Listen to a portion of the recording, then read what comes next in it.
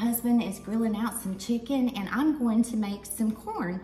And I'm gonna make fried corn similar to what my grandmother used to make. It's gonna melt two tablespoons of butter in this iron skillet.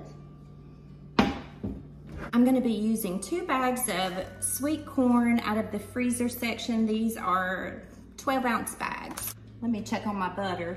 You can use one bag of whole kernel corn and buy a can of creamed corn or vice versa. But if you've got a Ninja Bullet, you can actually cream this bag of corn, and that's what I'm gonna do.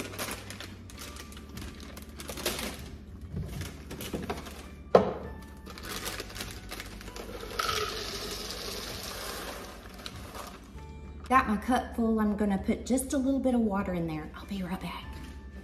This Ninja Bullet is my favorite appliance of all.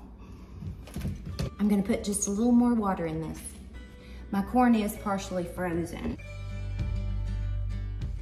So my butter's melted and I'm gonna go ahead and put my whole kernel corn in here.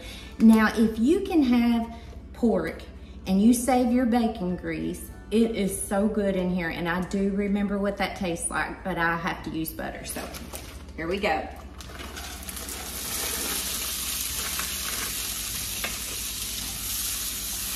Now we're gonna put the cream corn in.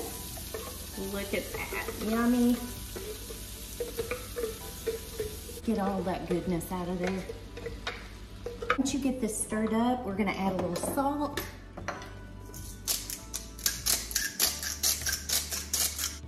And lots of pepper. I used to help my grandma shuck corn and she would make homemade corn.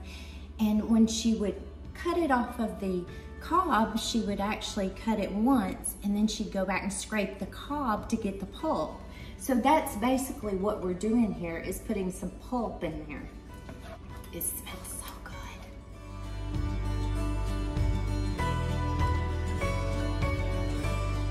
I'm gonna go ahead and get a little taste here and make sure that I've got enough salt and pepper.